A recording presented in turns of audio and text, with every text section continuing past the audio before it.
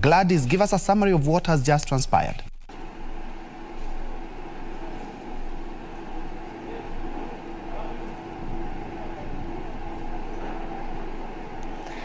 Indeed, good afternoon to you, Ben Trenjue from our communication center. We are live from Parliament buildings, uh, basically following up on the momentous political parties Amendment Bill 2021. This is a bill that has brought uh, the House back to uh, the House to consider that particular bill. This being a sitting that started uh, from 10 a.m. and we so far have had uh, two divisions uh, on amendments. The first division was by Honourable Member for Tigania West and uh, lastly by Honourable Aden Duale for, uh, for Garissa Township.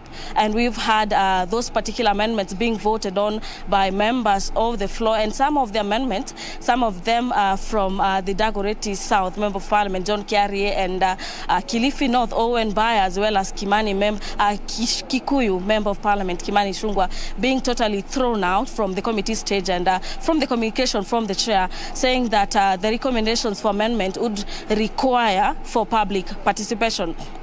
So the latest one is by Honorable Aden Duale, the member for Garissa Town uh, member for Garissa Town, which had 150 uh, voting no to that particular amendment. And some of the contentious issues in this particular amendment, Political uh, Parties Amendment Act of 2021, 2021, you may ask, some of them just to highlight is the issue of the formulation of coalition of parties to the, the next general elections. There's a proposition that uh, the political parties form coalitions six months to the general election. What does this mean? That pol small political parties have two months to the 2022 general elections to decide who they get to vote on. And that is why it's a heated issues between members of parliament who are trying to throw in their game of numbers to try and tilt numbers to their side to decide on either particular side on which they want these particular amendments to, to go. The other issue is the issue, the claims that uh, the, the empowering of the office of the registrar to take some of the issues and powers from the